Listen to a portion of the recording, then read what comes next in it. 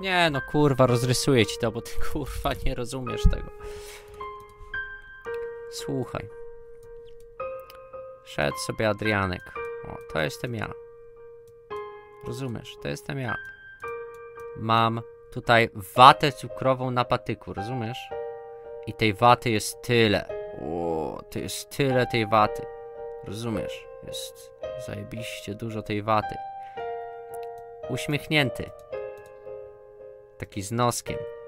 Ale super. No ekstra jest. I nagle podbiegają. Gang, kurwa. Gang smutasów. Gang jakiś kurwa. Maciejków. Taka prawda.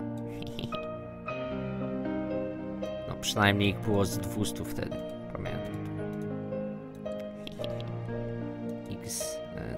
Czterech, no to X50 ich tu było.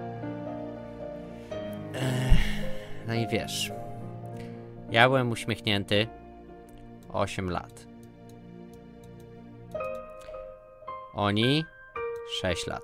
Około. No młodsi byli. Nie ma co ale wijać w bawełnę. Nie będę pierdolił, że mieli po 20 lat. Bo to byłaby nieprawda.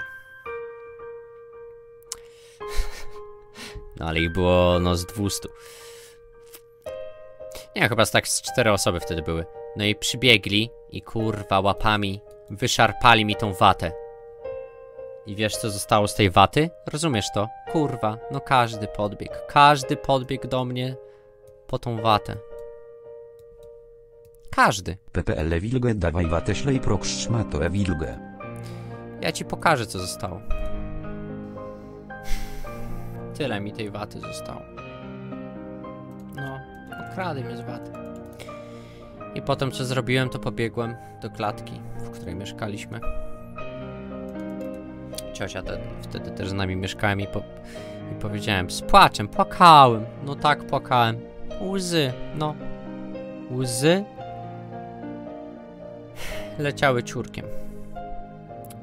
I powiedziałem cioci, że ukradli mi watę. No i z płaczem pobiegłem do cioci. No i ciocia mi dała pieniądze na kolejną watę. Także to był happy ending.